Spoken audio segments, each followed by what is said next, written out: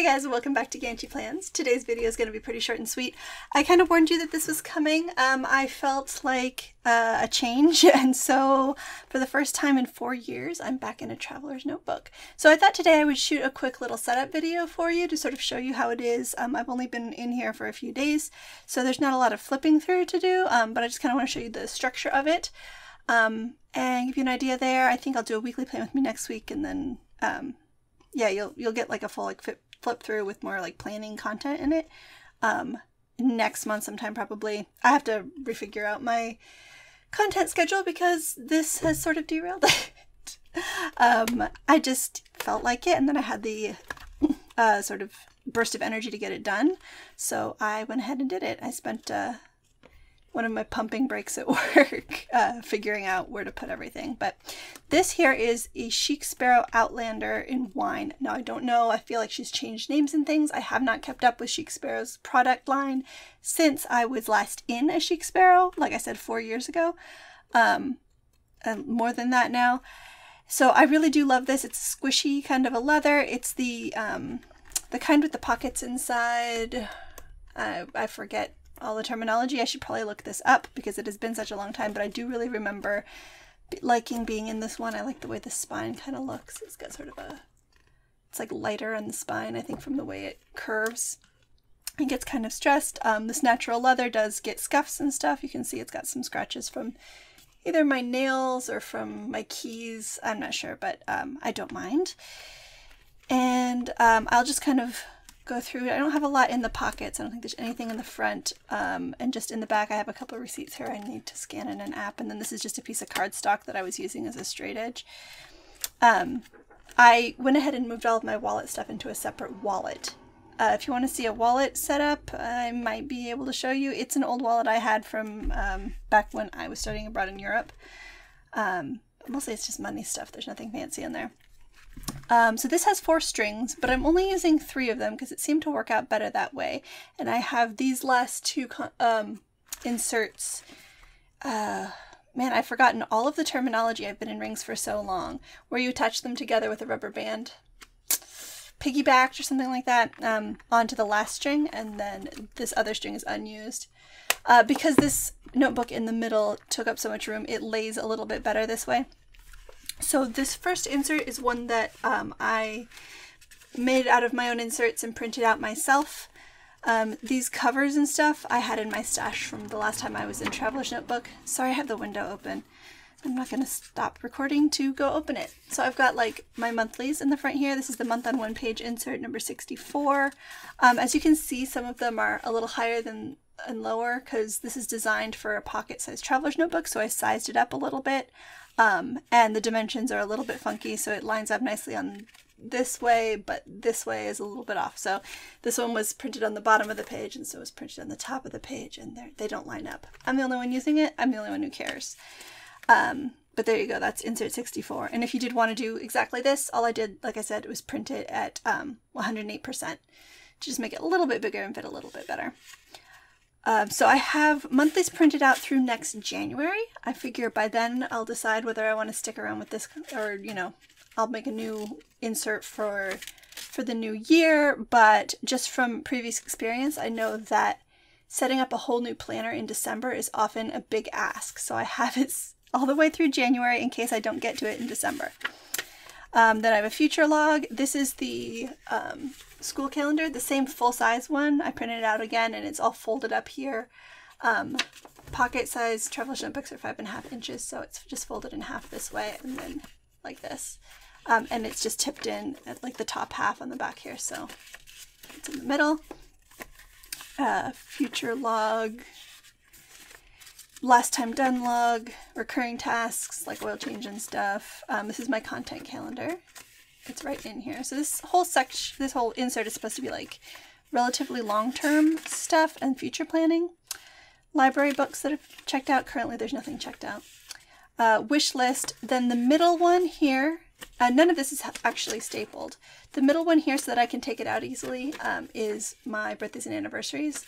That way I can just keep this and use it in any future setup because um, the benefit of this insert is that I never have to remake it.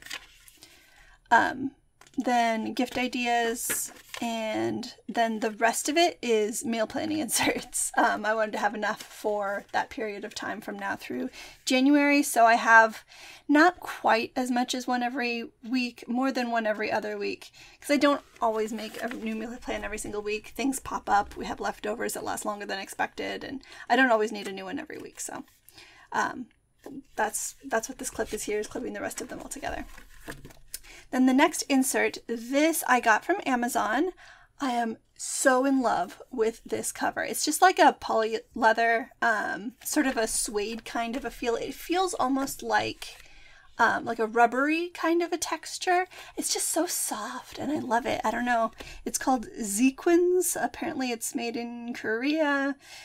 Got it off Amazon. It's got this really cool, like, semicircular spine. Uh, I don't know if you can see it, and it's supposed to be really flexible and to open real well. Um, but I just have it in here. It's this pocket size, and it's quite thick. So this is for weekly and daily planning. These are some dailies I'm going off of, and this is a, a little weekly I set up for this week. Use some of the um, Happy Planner stickers in here just for fun because uh, I'm just playing around with it. And the idea that this is really the thing that made me want to move into a traveler's notebook again was having all of the inserts, uh, like all of the actual like day to day planning, all in one place to be able to go back and look at it later.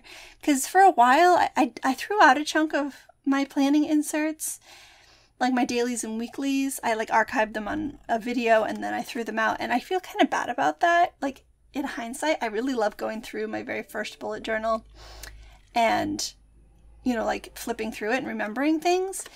And so I kind of like the idea of it being bound and easy to archive like that. So it's nice and thick, and this is what I'll be using for my weekly and daily planning for a while. Um, I'm trying to give myself permission to use lots of pages if I need them, uh, because there are lots of pages available. This is a dot grid. It's a, I think half in, or sorry half centimeter dot grid. Um, so there you go. Very very old school Bujo throwback. Then this next one is the sort of short term and um, project planning insert. Again, these are all printed off of my own personal inserts, and there's a Peanuts Planner Co. one in here too. Um, so I did that the same way. 108%. Um, so we've got this 52 weeks future log, just the back half of the year, sort of showing if I can assign myself one project per week. That's this one. This is a self-care bingo. I had already started on this earlier in the summer, so I just transferred it over and filled out what had already been done. Um, this is a sort of running to-do list kind of catch-all. I decided instead of having an inbox page, I would just keep stickies, so that's where the sticky lives. Um, I probably need a couple more sticky notes. Anyway, running to-do list, just space for general, whatever. Then um, this goal planning insert from Peanuts Planner Co. I love for my small projects. So this one, yeah, I have some to-dos for my shop and stuff. Um, then there's more of these on the other side over here. Um, I'm trying to reorganize my office space a little bit. Um, have some garden things to do, um, some clothes to donate. This middle one, just like the other insert, this is the one that can kind of come and go. Um, I could replace this more quickly is the idea in this case, rather than having something I can never never need to replace. This is something I can replace easily. This is just a sort of context list, and there's only two contexts, home and away. So just as to-dos pop up, I'm experimenting with not having a weekly to-do list, instead having these, and the running to-do list sort of in here, and I'm, I'm playing around with my system a little bit. Um, then I have, let's see, waiting on, a honeydew list, um, craft projects, someday maybe, and then to watch, and that's it in this one. And then I had one more field notes insert on my shelf that was blank. So that's in here, and this is my project pages. So this is going to be a table of contents. I was going to throw a little sticker on there or something to make it cute and start just sort of keeping track of what's in here. But I have um, a layout of our girls' room. They're going to get a new bedroom in another month or two. Um, and so I, you know, want to do the layout and shopping lists and stuff here. Um, this is all of the plans that I've made for my daughter's birthday. She's turning two in the middle of September, and I'm very ready for it. oh, I was just taking some notes on the organization video I was watching, and then this is tipped in um, a little infographic about sleep training because that's going to be happening coming up in a few more weeks. Um, I don't think it's going to be very hard. He goes to sleep really easily, but I just I have sleep sleep trained all of our kids so far, and Ferber worked pretty well with our second, so I think that it will work again if we need to do a little bit of it. And this is the uh, reference. So no hate if you don't like sleep training, but it, I think it works real well for us. Um, and then that's the setup. So um, I hope that that was interesting. Uh, I hope that you are not going to all leave en masse because you only follow me for my ring planners, and now that I'm in a traveler's notebook, I've abandoned you. But I know I already heard from one person who was really happy that I was moving to traveler's notebooks. Um, someone else who is kind of excited for it. So I think, I, I feel like there might be a little bit of a market for these videos, hopefully. Anyway, in any case, I'm always going to show you whatever planner system I have going. And right now it's this, it's making me happy. Um, I do love the squareness of it. Um, I didn't really plan for it to be exactly so perfect, but it really is nice and parallel here. And this one just feels so like official. I don't know, the way that this leather feels like a real book. Um, the chunkiness, it's just real nice. So um, and in the pen loop fits my G2. That's uh, it's it's good so far, so good. Uh, so stay tuned for more Traveler's Notebook content. I'll see you guys in the next video if you subscribe. So next Thursday, bye.